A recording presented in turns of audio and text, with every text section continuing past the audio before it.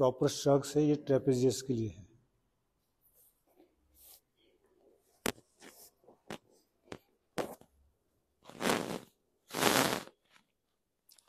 इसमें grip position 18 inch के आसपास रखेंगे। जो लेट स्ट्रक बताया था वो कैसे बताया था? ऐसे।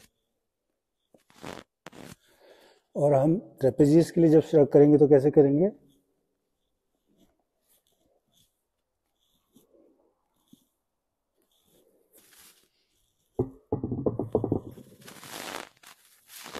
निकालो बार।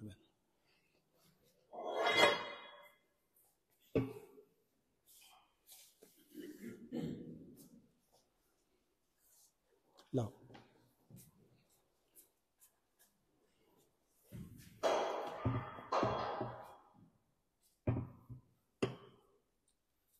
तो फिसलते हैं यार।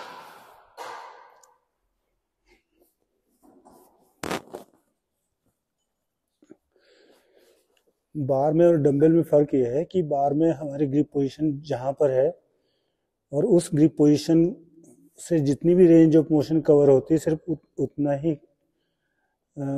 एक्सरसाइज फीलिंग होती है। डंबल में रेंज ऑफ़ मोशन बढ़ जाती है। जब डंबल नीचे हैंग होते हैं तो क्लोज हो जाते हैं और जब हाथ कंधे हम शक करके ऊपर लाते हैं तो थोड़ा सा डंबल फैल जाते हैं। तो रेंज ऑफ़ मोशन बढ़ जाती है।